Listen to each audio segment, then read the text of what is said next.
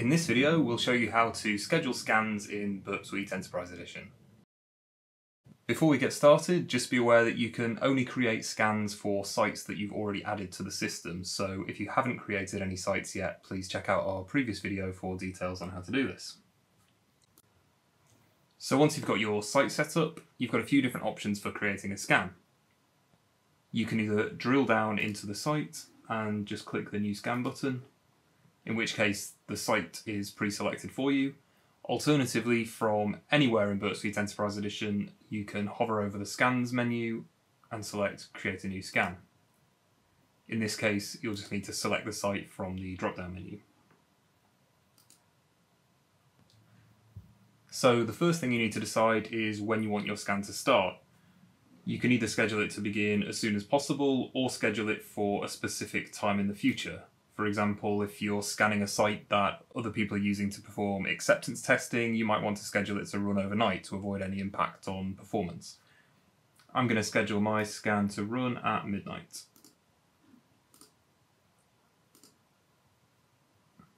Next, you can choose whether to create a one-off scan or create a recurring scan that repeats on a regular basis.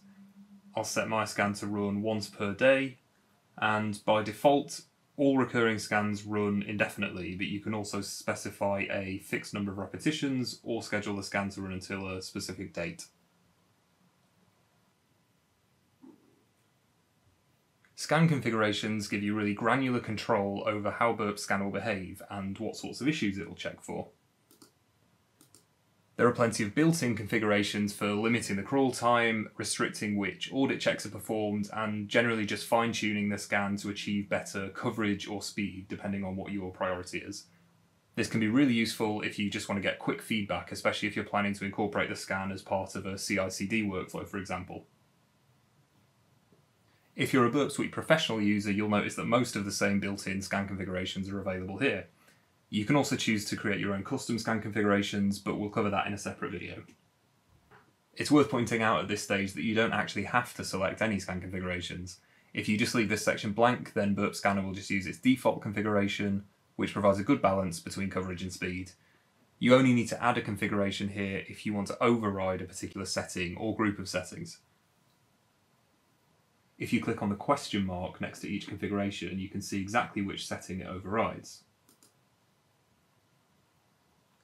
All of the options are grouped according to the kind of behavior they control. So if a section's collapsed, like the login functions one here, this means that all of the settings in that area are unchanged from Burp Scanner's standard configuration.